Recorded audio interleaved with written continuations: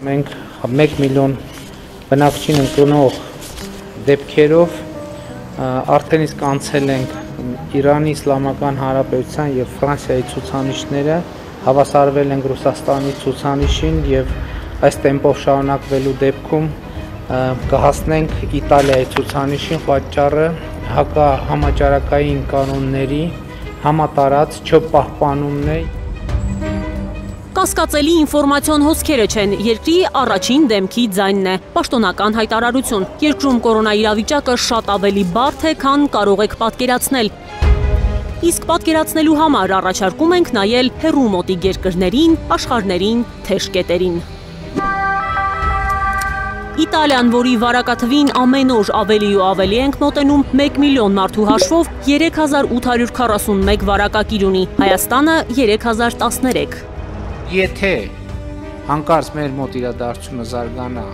օրինակ իտալական սցենարով, մեկ ամսվա ընթացքում մենք կորոնավիրուսից կունենանք 10000 մահ։ Այսինքն մենք չգիտենք, համոզված չէինք, որ հենց այդ սցենարով կընթանա, եւ եթե անկեղծ ասեմ, Հիմա էլ համոզված չենք։ Անհանգիստ ենք իտալական սցենարի հայկական մոտիվներից, բայց գիտեք, որ երկրի կորոնացուցանիշին ենք ավելի մոտ։ Շվեդիայի երկիր, որտեղ ոչ կարանտին կար, ոչ սահմանափակումներ, բաց էին դպրոցներն ու համալսարանները։ Դժվար է ընդունել այդ փաստը, երբ խիստ սահմանափակումներից նոր ես դուրս եկել ու դեռ ապրում ես արտակարգ դրության ռեժիմում։